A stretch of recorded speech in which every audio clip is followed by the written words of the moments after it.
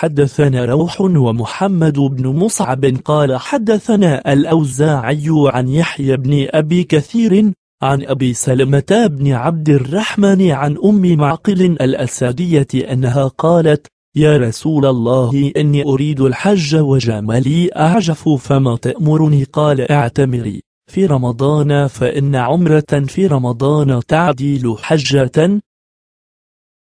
حدثنا محمد بن جعفر وحجاج قال حدثنا شعبة عن إبراهيم بن مهاجر عن أبي بكر بن عبد الرحمن بن الحارث قال أرسل مروان إلى أم معقل الأسدية يسألها عن هذا الحديث فحدثته أن زوجها جعل بكرا لها في سبيل الله وأنها أرادت العمرة فسألت زوجها البكر فأبى فأتت النبي صلى الله عليه وسلم فذكرت ذلك له فأمره أن يعطيها وقال النبي صلى الله عليه وسلم الحج والعمرة من سبيل الله وقال عمرة في رمضان تعديل حجة أو تجزئ حجة وقال حجاج تعدل بحجة أو تجزئ بحجة حدثنا ابن نمير قال حدثنا محمد بن أبي إسماعيل عن إبراهيم بن مهاجر عن أبي بكر بن عبد الرحمن القرشي عن معقل بن أبي معقل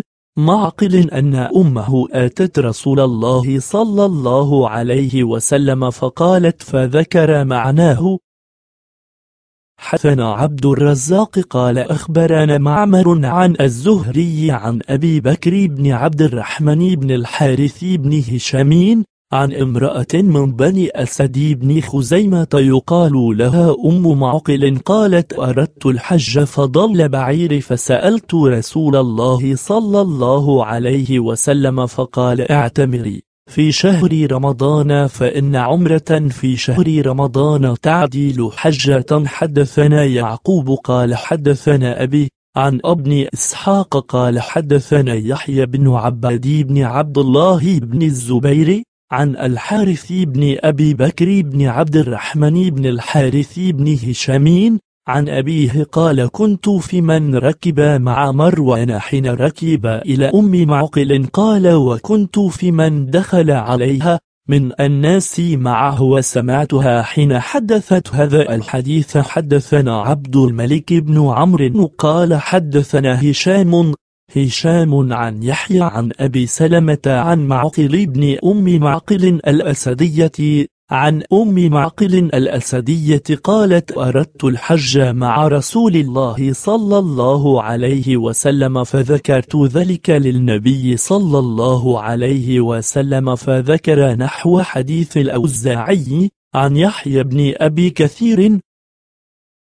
حدثنا يحيى بن آدم قال حدثنا إسرائيل عن أبي إسحاق عن الأسود عن أبي معقل عن أم معقل أنها سألت رسول الله صلى الله عليه وسلم فقال عمرة في رمضان تعديل حجة؟